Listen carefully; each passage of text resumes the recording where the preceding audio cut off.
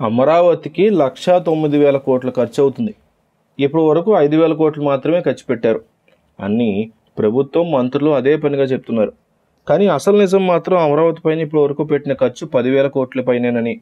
వైకాపా ప్రభుత్వం అధికారంలోకి వచ్చిన తర్వాత గత ప్రభుత్వంలో ఏం చేశారో చెప్తూ కొన్ని శ్వేతపత్రాలను విడుదల కూడా చేశారు. వాటిలో అమరావతి గురించి కూడా ఉంది. జూన్ ఇరవయో తేదీన అమరావతి సిఆర్డీఏ వ్యవహారాలపైన శ్వేతపత్రం విడుదల చేశారు. ఇందులో అమరావతి కోసం గత ప్రభుత్వం తొమ్మిది కోట్ల వరకు ఖర్చు చేసిందని స్పష్టం చేసింది. ఇవి కాకుండా రౌతు రైతులకి కౌలు చెల్లింపు భూములు లేని పేదలకు పెన్షన్ ఇలాంటి సామాజిక పనుల కోసం పదమూడు వందలు ఖర్చు చేసింది.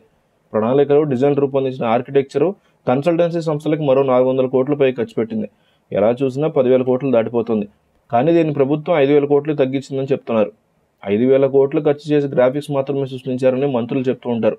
కానీ అక్కడ ప్రపంచ స్థాయి నిర్మాణాలు కొన్ని పూర్తయ్యే ఉన్నాయి. మరికొన్ని చివరి దశలో ఉన్నాయి. వెలగపూడిలో ప్రస్తుతం ఉన్నటువంటి సచివాలయం శాసనసభ భవనాలు మొత్తం ఆరు లక్షల చదరపడుగులు పూర్తయింది. దీన్ని ఉపయోగించుకుంటున్నారు. జ్యుడిషియల్ కాంప్లెక్స్ రెండున్నర లక్షల చదరపడుగులు. దీన్ని కూడా ఉపయోగించుకుంటున్నారు. తూళ్ళూరులో సిఆర్డీఏ కార్యాలయ భవనం ఏడు కోట్లు ప్రజావేదిక నిర్మించారు. కాకపోతే దీన్ని కూల్చివేత కూడా అక్కడే జరిగిపోయింది. ఎమ్మెల్యేలు ఎమ్మెల్సీలు అఖిల భారత సర్వీస్ అధికారులు గెస్టెడ్ నాన్ గెస్టెడ్ అధికారులు నాలుగో తరగతి ఉద్యోగులు అపార్ట్మెంట్ల నిర్మాణం ఇవన్నీ యాభై ఐదు నుంచి తొంభై శాతం పూర్తయ్యాయి. మంత్రులు హైకోర్టు న్యాయమూర్తులు సీనియర్ అధికారుల బంగ్లా నిర్మాణాలు ముప్పై శాతం పూర్తయ్యాయి ప్రధాన రహదారులు వంతెనలు దాదాపుగా యాభై శాతం పూర్తయ్యాయి చివరికి కొండబీటి వాగు వల్ల రాజధానికి మరద ఉప్పు ఉంటుందనేటువంటి భావనతో ఎత్తిపోతల పథకాన్ని కూడా పూర్తి చేశారు. ప్రభుత్వం అమరావతిలో ఏమీ జరగలేదని చెప్పడానికి ఐదు వేల కోట్లు తక్కువ చేసి చెప్తున్నా రాజధాని మారిస్తే అది పదివేల కోట్లు బూడిదలో పోసిన పన్నీర్ అనే అభిప్రాయం అంతటా వ్యక్తమవుతోంది.